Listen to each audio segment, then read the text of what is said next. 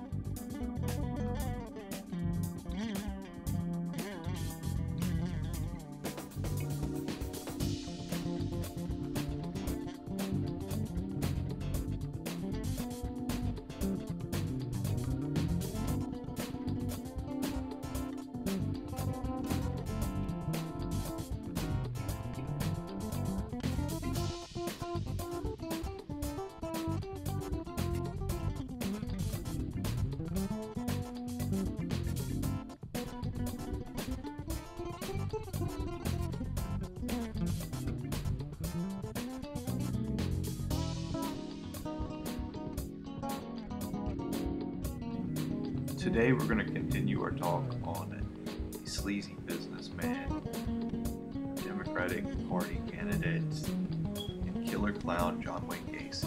And uh, we're going to really get to the, the murders today and how he really got away with it for so long. And he shouldn't have been able to. And I want to keep, I want everybody to keep in mind that during this time period, he kept up the persona of being a family man, a businessman, and you know, a politically motivated individual working in the political, political Anyway, during this time, towards the end of his murders, is when he got um, an okay from the Secret Service to have his picture taken for the First Lady. And he's wearing his little button saying that it was okay and everything. He passed her background check and all that. So you can see how low under the radar he actually was.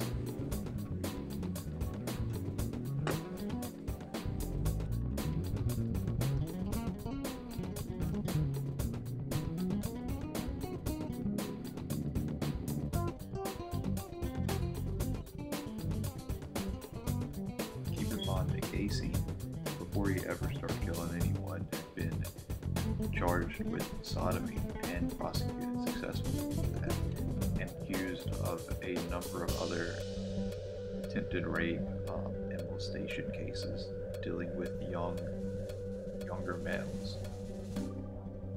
So this is somebody who obviously should have been on some people's radar. He had this tendency, and the people that have accused him of those acts have also accused him of threatening him lot of ties that would silence them. Um, they, one of them, he paid some guy, some other employee that he worked with to beat up somebody so they wouldn't testify against him. So this was a violent guy actually knew about even though he had this persona over it. It was found out. So he goes to prison and he moves, changes cities, and poof, it's all gone. Gacy took his first wife January 2nd, 1970. This one was kind of an accident. He picked this kid up, 15 year old kid named Timothy Jack McCoy from a Chicago Greyhound, and promised to show him the city. He showed him around the city, then took him back to his house. And the next morning, he was fixing Gacy breakfast. He walks into Gacy's room to wake him up, and he's holding a kitchen knife. Gacy sees him with the kitchen knife and thinks he's trying to attack him, so he jumps on the kid and kills him. Um, he does this kind of out of self-defense. The big problem here is he really liked it. He enjoyed doing it, and that kind of thing became later, as you can see. Anyway, uh, it wasn't until two years later that he did it.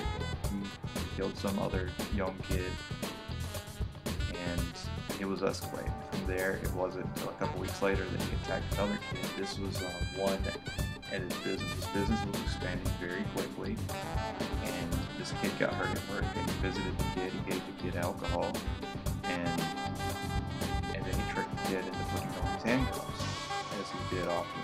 But his right cuff was loose, and he got out. And he actually got the handcuffs on on Gacy and put him like you know him down the back behind him, and him sit on the floor.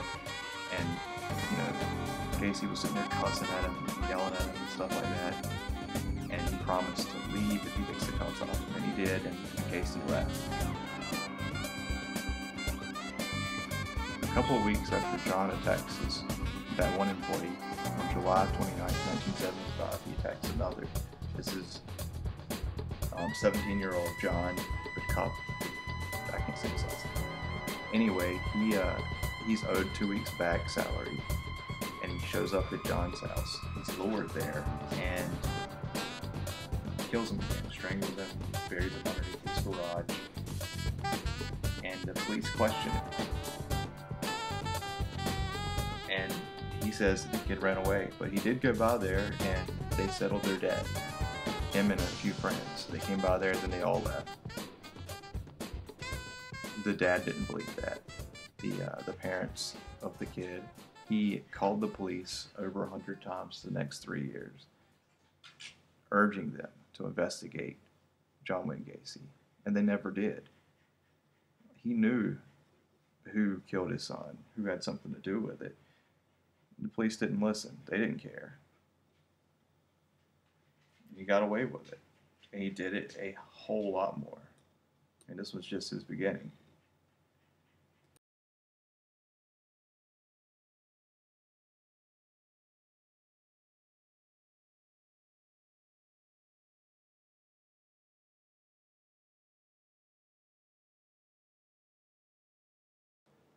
It was at this time, a couple of months after this last incident where he killed his employee, that him and his wife got a divorce.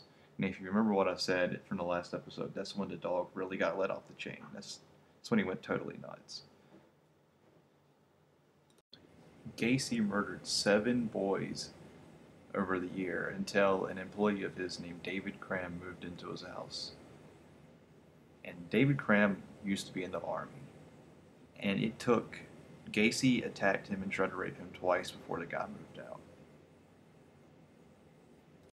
It was at this time that Gacy had a number of his employees dig trenches underneath his house. He told them that this was for irrigation.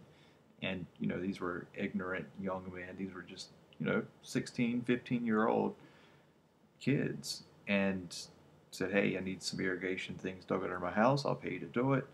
He checked on them constantly, make sure they dig in the right place, urged them to hurry up, getting irritated, agitated, you know, if they ventured into the wrong spots. And uh, yeah, so he had all these trenches dug so he didn't have to dig these holes anymore to bury these bodies. And he had these kids do it. They're doing it for other kids. They had no idea, no clue at all. During this time, Gacy kills six more people few of which are actually PDM employees of his. That's how one of reason, one way he finds his victims. And in December, he kills a seventh. This is 17-year-old Gregory Godzik. This one's really, really fucked up. This is one of the kids that came over to his house and dug the quote-unquote drainage ditches under it. So essentially, this kid dug his own grave for Gacy. Gacy told everyone that Godzik ran away after he was questioned. And he even told everybody that he had a answer machine message left from Greg telling him that he was planning on running away. But he had since erased this message. A month later, John kills another employee of his. This is 19 year old John Szyc. He steals a couple of his possessions a portable Motorola TV and a ring, and he keeps them in his bedroom. And then he sells the kid's car to Michael Rossi. Gacy takes three more lives, and then in March 1977, he is hired as a construction supervisor of PE Systems, and they specialize in the nationwide remodeling of drugstores. It's that in 1977 alone, that nearly 80 buildings were successfully remodeled by PDM and PE Systems. So he was a very busy guy. He got around, and that you know, led to a lot more victims. In August of that year, Michael Rossi was arrested for stealing gas, and the car was traced back to John Gacy's house where it was registered because Rossi lived there at the time. He was asked about it, and his story changed a little bit. He said that that John sold him the car because he needed money to leave town, so he still needed to run away. He sold the car, and then he sold his car to to this other cat.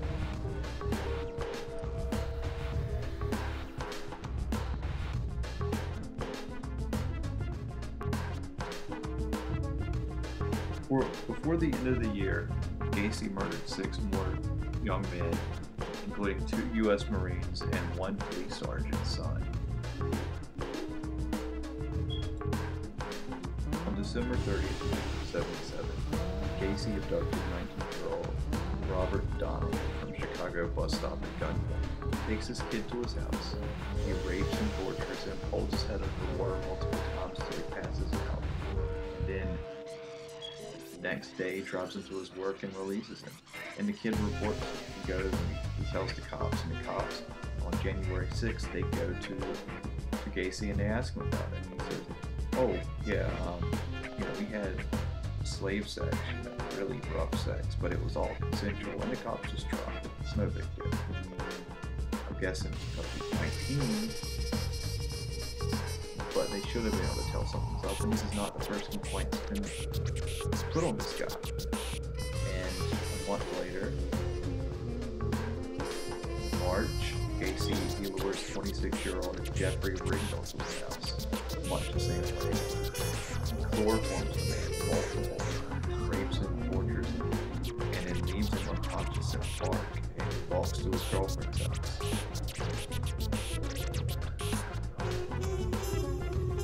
Didn't remember much, but he did report to the police. A few things did come through his chloroform based specific call. That was Gacy's Black Oats Mobile and the Kennedy Expressway. So he staked out the Kennedy Expressway. He sit there waiting, looking for that car, that black car that drove And he saw it. He followed it to Gacy's house and he called the cops and the cops arrested him. And you know, when when Gacy was arrested for trial for the battery on Jeffrey Rignall, was holding him up. Was right there. So, you know, the cops had to wait until this kid did all the work for him pretty much. And he was the first person to catch him. He was raped and molested. He found him.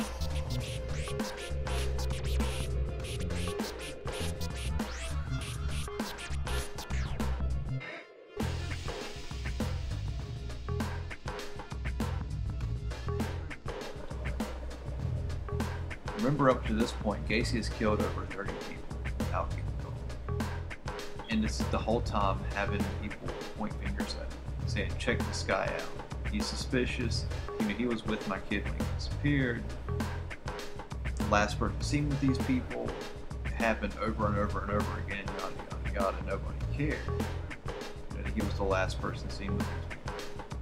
Where he came up on multiple missing persons reports or you know, this, his second victims, the parents repeatedly called the police and said, "Hey, look into this guy. Look into Gacy."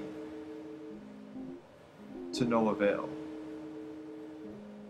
How do you get away with it so long? He was a businessman, a community leader, part of the local government there, and he, uh, you know, he was a Democratic Party person. He worked within the party, and they liked him. He was one of them. He was a good, upstanding citizen. Except for he murdered people, young boys, because he liked it. And the cops seemed to ignore it, just let it go on. December, on December 11th, 1978, John Gacy visits a pharmacy to discuss a remodeling job. There, he meets an employee of the pharmacy. It's a 15 year old kid named Robert Piest, and uh, this kid becomes John Gacy's last victim. There are interviews with cops saying that if you know Robert was anyone else, they probably wouldn't have called Gacy. They only really looked into it because of who he was, know, who his parents were and everything. He was more of a quote unquote upstanding citizen, at least appeared that way more so to the police than the other disappeared youths, um, who Gacy always claimed were prostitutes, you know, male prostitutes. He, he claimed a lot of times that he was defending himself. This kid was obviously none of that, and most of those his were none of that. But the cops didn't catch any of them either. But this guy, for some reason, the cops went after him after him, and um, he has everything to do with who he is. I'm not really sure why, but even the cops admit it in video. You can see it.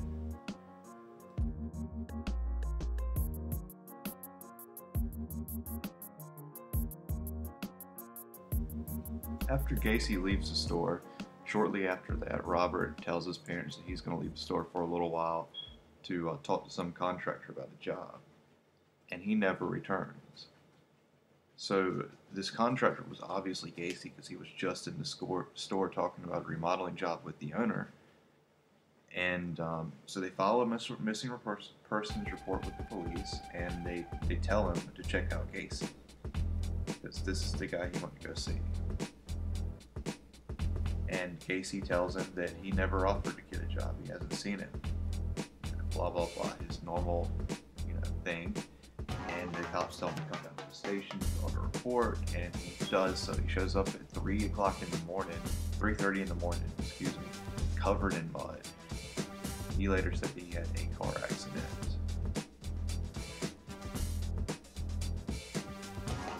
cops don't really believe Gacy at this point. They looked into his background. They saw that he actually did have sodomy.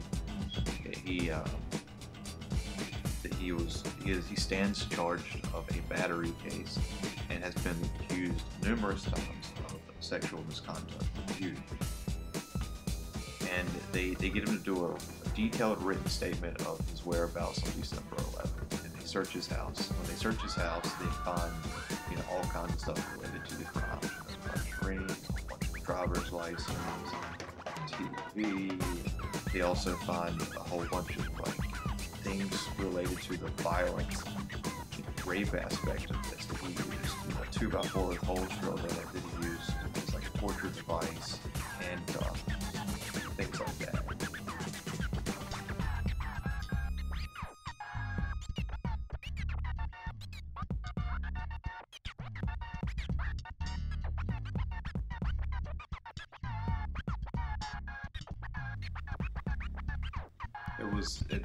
that Michael Rossi, you know, the guy that John Gacy sold that kid's car to after he killed him, he called the police station and he says, you look into these two people who went missing around Gacy too. These were employees of PDM, you know, the company that he owned. At this point, the cops don't think they have enough evidence to arrest him, so they surveil him. They also interview Michael Rossi again who says in 1977, Gacy got him to spread a whole bunch of lime under his house. That's interesting. They also searched his Oldsmobile, Gacy's Oldsmobile. They used a, a cadaver sniffing dog who went and alerted to the fact that there was a dead body on the passenger seat in the car. I remember that Gacy was very likable. He would hang out with his investigators. They uh, they would come into his house and have drinks. He would cook for them. They had made, it, made him at restaurants. He would also start acting erratically sometime and just lose them in the streets. So they didn't know if he was going to be friendly or he was just going to try to ditch them. They had no idea. And um, eventually, this kind of act caught up with him. He invited a couple of his uh, followers, as you could say, his trailers, into his house to have a fish dinner with him. And one of them smelled something from under the house that smelled rotten, and it was caused by the decomposing body from the heater that he turned on because it was winter. Gacy filed a civil lawsuit against the police, saying that they were harassing him because of his political connections. The next night, Gacy went to his lawyer's office gave a detailed, rambling statement of his confession. He, he confessed to his lawyer of killing 30 plus people, and then he slept on the lawyer's couch and left the next morning and started visiting people because he, he thought he was going to be arrested and um, during his visits, he ended up giving a, a, young attendant at a gas station a small bag of marijuana. And cops, thinking that the Gacy's planning on offing, him, offing himself, they uh, they pick him up and arrest him for distribution. And then they, they get all the evidence they have together, get the search warrant for his house, and they search his premises one more time where they find the bodies.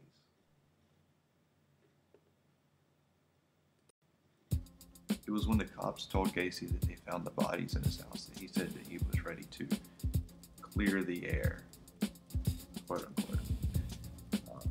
Also he admitted to 30 plus murders, and he said that all of them were runaways or male prostitutes, and that was completely a lie.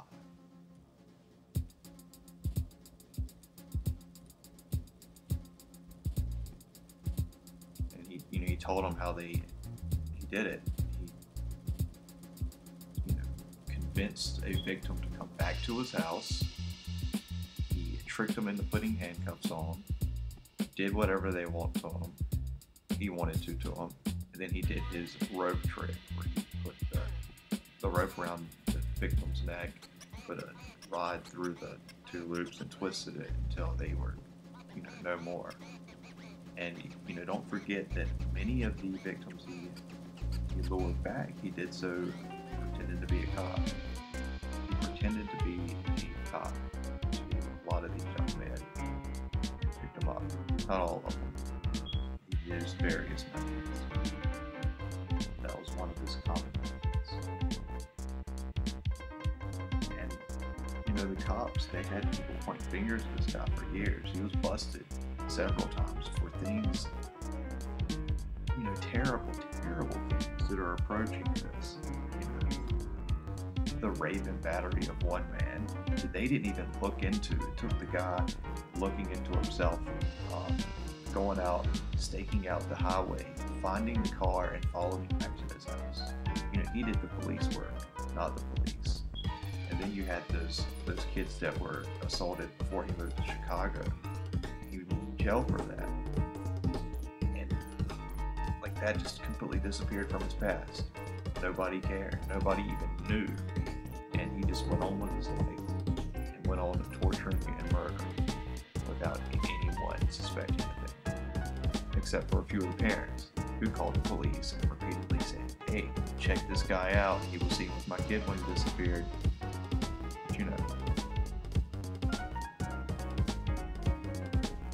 They are here for our protection. It wasn't for them. Who would protect us from crazy loon nuts? Crazy psycho killers. John, crazy clown, Gacy, or Ted Bundy, Charles Manson, or any of these crazy freaks. The state's supposed to protect us from them? Yeah, right. They don't. And I think this is a good case of where they don't. I mean, they, they were kind of the reason he was out there for so long. All the evidence that, that traced back to him, and nobody said, hey, we should probably check this guy out. You know, anyone who was arrested for you know, sexually, sexually molesting a kid should be watched at least, not, you know, put up on a pedestal as some, you know, idyllic businessman and model community leader. He raped, tortured children. He murdered them and buried them under his house, threw a few of them off a bridge. He was an awful, awful human being.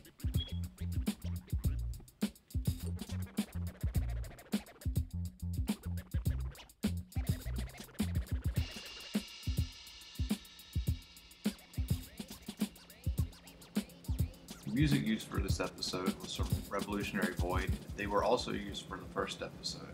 The album used for this particular podcast, though, was Thread Soul, and it contains track 1, Ventus Solaris, track 2, Biomythos, track 3, Mind Mapping, track 4, As We May, track 5, City Lights at Night, track 7, Infography, and track 9, The Robot is Dreaming. And uh, as you can tell, it's kind of a jazzy, uh, e electronic music type of, type of thing. And it's really cool. I really like it. Check it out. Go listen to more of the music. You got a whole bunch.